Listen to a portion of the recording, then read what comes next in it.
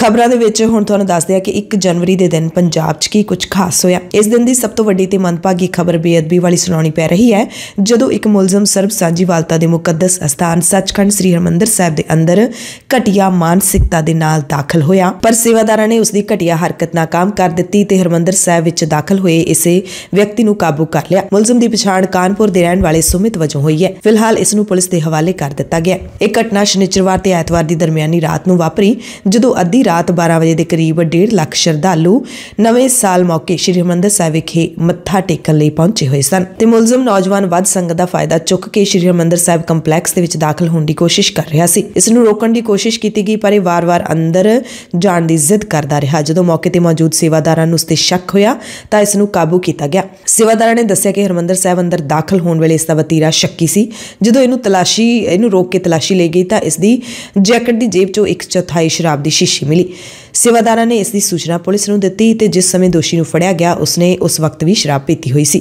ਫਿਲਹਾਲ ਪੁਲਿਸ ਨੇ ਸੁਮਿਤ ਨੂੰ ਹਿਰਾਸਤ ਵਿੱਚ ਲੈ ਕੇ ਜਾਂਚ ਸ਼ੁਰੂ ਕਰ ਦਿੱਤੀ ਹੈ। ਹਾਲਾਂਕਿ ਬਹੁਤੇ ਸਿੱਖਾਂ ਨੂੰ ਇਨਸਾਫ ਦੀ ਕੋਈ ਬਹੁਤੀ ਉਮੀਦ ਨਹੀਂ ਹੈ। 1 ਜਨਵਰੀ ਦੇ ਦਿਨ ਲੋਕਾਂ ਤੇ ਮਹਿੰਗਾਈ ਦੀ ਗਾਜ ਵੀ ਡਿੱਗੀ। ਤੜਕੇ ਤੜਕੇ ਫੇਰ ਲੋਕਾਂ ਨੂੰ ਤਕੜਾ ਝਟਕਾ ਦਿੱਤਾ ਗਿਆ ਤੇ ਇਹ ਝਟਕਾ ਹਰ ਵਪਾਰੀ ਬੰਦੇ ਨੂੰ ਲੱਗਿਆ, ਕਿਉਂਕਿ ਦਿੱਲੀ ਸਮੇਤ ਦੇਸ਼ ਭਰ ਦੇ ਵਿੱਚ ਵਪਾਰਕ ਐਲਪੀਜੀ ਸਿਲੰਡਰ ਦੀ ਕੀਮਤ ਵਿੱਚ 25 ਰੁਪਏ ਦਾ ਵਾਧਾ ਕਰ ਦਿੱਤਾ ਗਿਆ। ਹੁਣ ਦਿੱਲੀ ਦੇ ਵਿੱਚ ਵਪਾਰਕ ਐਲਪੀਜੀ ਦੀ ਕੀਮਤ 1769 ਰੁਪਏ ਹੋ ਗਈ ਹੈ। ਹਾਲਾਂਕਿ ਘਰੇਲੂ ਗੈਸ ਸਿਲੰਡਰ ਦੀ ਕੀਮਤ ਵਿੱਚ ਕੋਈ ਵਾਧਾ ਨਹੀਂ ਕੀਤਾ ਗਿਆ। ਸਰਕਾਰੀ ਤੇਲ ਕੰਪਨੀਆਂ ਹਰ ਮਹੀਨੇ ਦੀ ਪਹਿਲੀ ਤਰੀਕ ਨੂੰ ਗੈਸ ਦੇ ਭਾਅ ਬਦਲ ਦਿੰਦੀਆਂ ਨੇ।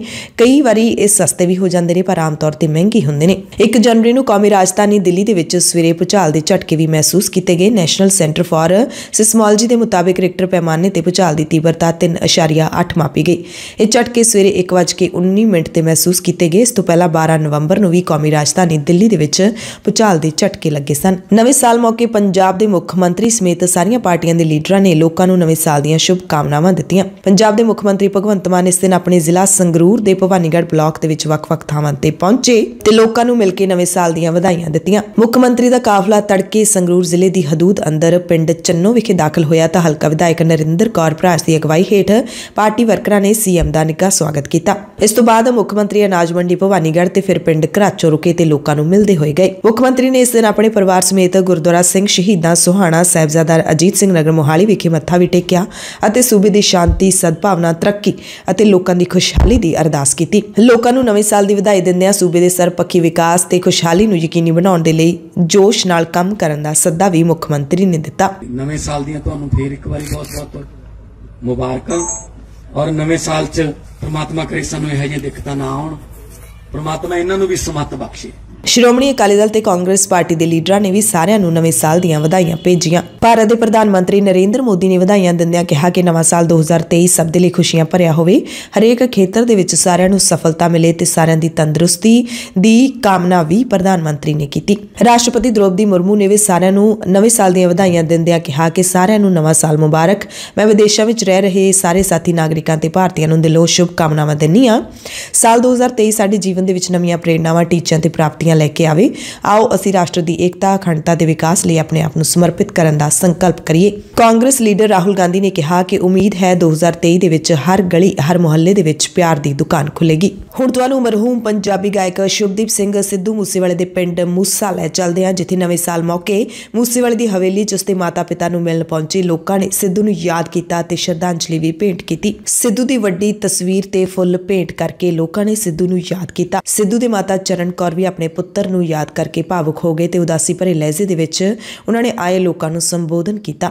ਪਿਤਾ ਬਲਕੌਰ ਸਿੰਘ ਇਸ ਵਕਤ ਇੰਗਲੈਂਡ ਦੇ ਦੌਰੇ ਤੇ ਹਨ। ਮਾਤਾ ਚਰਨ ਕੌਰ ਨੇ ਆਪਣੇ ਪੁੱਤ ਦੇ ਪ੍ਰਸ਼ੰਸਕਾਂ ਨੂੰ ਨਵੇਂ ਸਾਲ ਦੀਆਂ ਵਧਾਈਆਂ ਵੀ ਦਿੱਤੀਆਂ ਤੇ ਕਿਹਾ ਕਿ ਸਾਡੇ ਘਰ ਭਾਵੇਂ ਹਨੇਰਾ ਹੋ ਗਿਆ, ਪਰ ਸਾਰਿਆਂ ਨੂੰ ਨਵਾਂ ਸਾਲ ਮੁਬਾਰਕ ਹੋਵੇ। ਦੁਖੀ ਮਾਂ ਨੇ ਕਿਹਾ ਕਿ ਲੰਘਿਆ ਸਾਲ ਸਾਡੇ ਲਈ ਡੂੰਘਾ ਸਦਮਾ ਛੱਡ ਗਿਆ। ਬੀਤੇ ਸਾਲ ਦੀਆਂ ਕੌੜੀਆਂ ਯਾਦਾਂ ਸਾਂਝੀਆਂ ਕਰਦੇ ਹੋਏ ਮਾਂ ਨੇ ਇਨਸਾਫ ਮਿਲਣ 'ਚ ਹੋ ਰਹੀ ਦੇਰੀ ਕਾਰਨ ਨਿਰਾਸ਼ਾ ਜ਼ਾਹਿਰ ਕੀਤੀ ਤੇ ਕਿਹਾ ਕਿ ਉਹਨਾਂ ਸਿੱਧੂ ਮੂਸੇਵਾਲੇ ਦੀ ਕਤਲ ਦੇ ਮਾਮਲੇ ਦੇ ਵਿੱਚ ਕੁਝ ਮੁਲਜ਼ਮਾਂ ਦੇ ਨਾਮ ਪੁਲਿਸ ਤੇ ਸੂਬਾ ਸਰਕਾਰ ਨੂੰ ਸੌਂਪੇ ਸਨ, ਪਰ ਪੰਜਾਬ ਸਰਕਾਰ ਨੇ ਹਾਲੇ ਤੱਕ ਨਿਆਂ ਨਹੀਂ ਦਿੱਤਾ।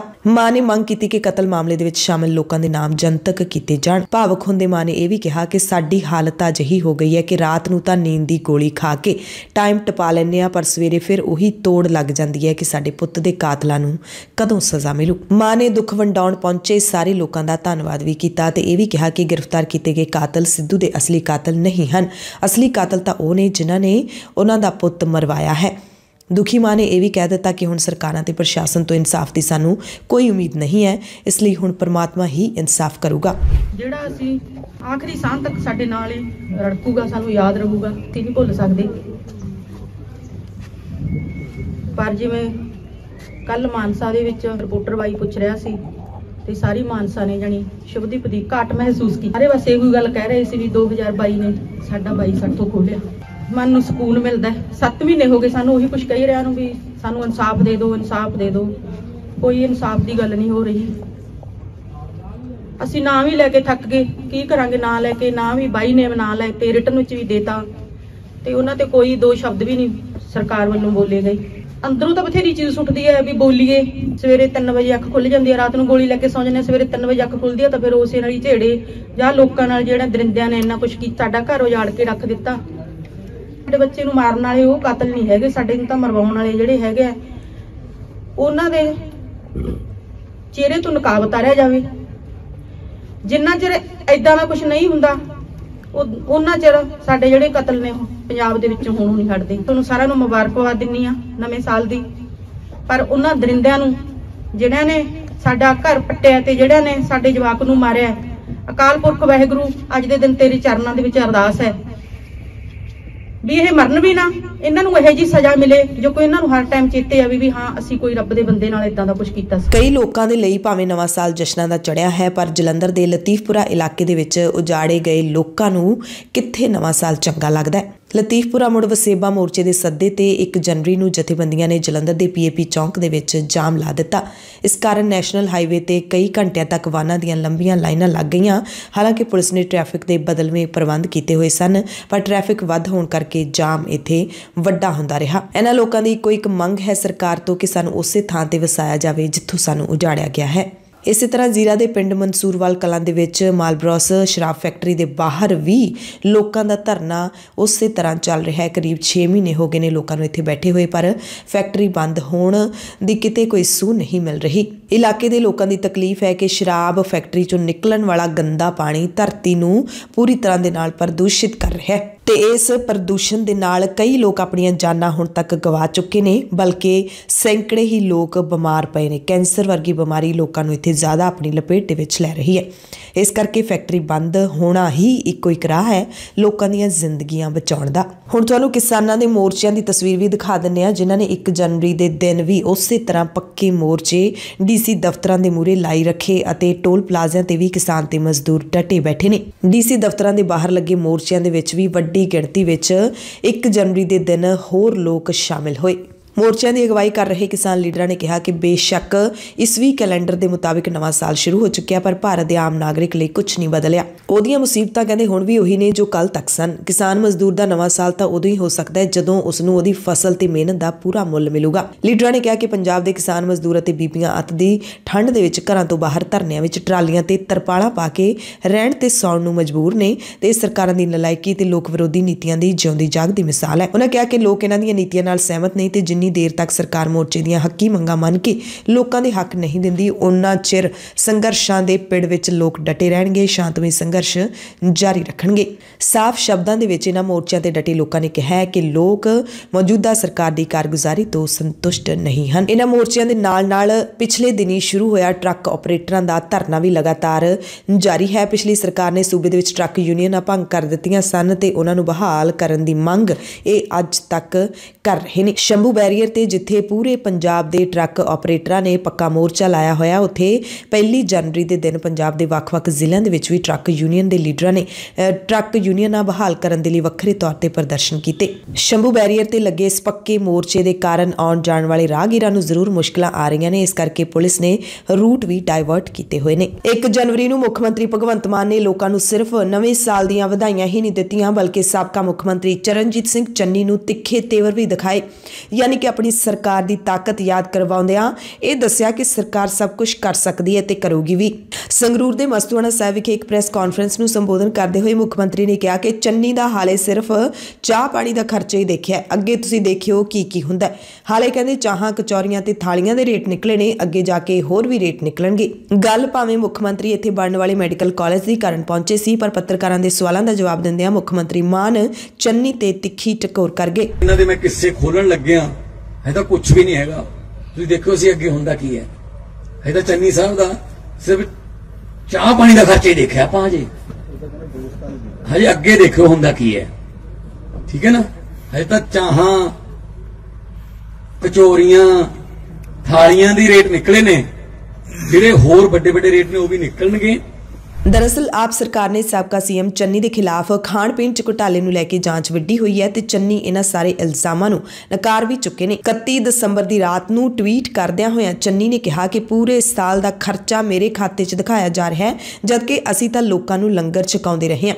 ਪੰਜਾਬ ਦੇ ਵਿੱਚ ਕਹਿੰਦੇ, ਕੋਈ ਵੀ ਮੁੱਖ ਮੰਤਰੀ ਦਿਖਾਓ, ਜਿਸ ਨੇ ਆਪਣੇ ਕਾਰਜਕਾਲ ਦੇ ਵਿੱਚ ਲੋਕਾਂ ਨੂੰ ਸਵੇਰੇ ਦੁਪਹਿਰੇ ਤੇ ਸ਼ਾਮ ਮੁਫਤ ਰੋਟੀ ਖਵਾਈ ਹੋਵੇ। ਮੁੱਖ ਮੰਤਰੀ Bhagwant Singh Mann, Sant Atar Singh institute of medical sciences Mastuana Sahib ਵਿਖੇ ਬਣਨ ਵਾਲੇ ਕਾਲਜ ਨੂੰ ਲੈ ਕੇ ਐਸਜੀਪੀਸੀ ਢੀਂਡਸਾ ਪਰਿਵਾਰ ਅਤੇ ਸੁਖਵੀਰ ਸਿੰਘ ਬਾਦਲ ਤੇ ਵੀ ਵਰੇ। ਇਹਨਾਂ ਤੇ ਵੱਡੇ ਇਲਜ਼ਾਮ ਲਾਉਂਦਿਆਂ ਮੁੱਖ ਮੰਤਰੀ ਨੇ ਕਿਹਾ ਕਿ ਜੇ ਇਹ ਲੋਕ ਅੜਿੱਕਾ ਨਾ ਲਾਉਂਦੇ ਤਾਂ ਅੱਜ ਤੱਕ ਕਾਲਜ ਦੀ ਇਮਾਰਤ ਪੂਰੀ ਹੋ ਚੁੱਕੀ ਹੁੰਦੀ। ਮਾਨ ਨੇ ਰਜਿਸਟਰੀ ਦੇ ਦਸਤਾਵੇਜ਼ ਸਬੂਤ ਵਜੋਂ ਪੇਸ਼ ਕਰਦਿਆਂ ਕਿਹਾ ਕਿ 460 ਕਰੋੜ ਦੇ ਇਸ ਪ੍ਰੋਜੈਕਟ ਦੇ ਲਈ 25 ਏਕੜ ਜ਼ਮੀਨ ਅੰਗੀਠਾ ਸਾਹਿਬ ਗੁਰਦੁਆਰੇ ਨੇ ਦਾਨ ਕੀਤੀ ਹੈ। ਜਿਸ ਦੀ ਸਾਲ 2022 ਦੇ 5ਵੇਂ ਮਹੀਨੇ ਦੀ 23 ਤਰੀਕ ਨੂੰ ਕਾਲਜ ਦੇ ਨਾਮ ਤੇ ਰਜਿਸਟਰੀ ਵੀ ਹੋ ਗਈ ਸੀ ਤੇ ਕਾਲਜ ਦੇ ਲਈ ਹੋਰ ਜਿਹੜੀਆਂ ਫਾਰਮੈਲਿਟੀ ਸੀ, ਉਹ ਵੀ ਪੂਰੀਆਂ ਕਰ ਲਈਆਂ ਗਈਆਂ ਸੀ।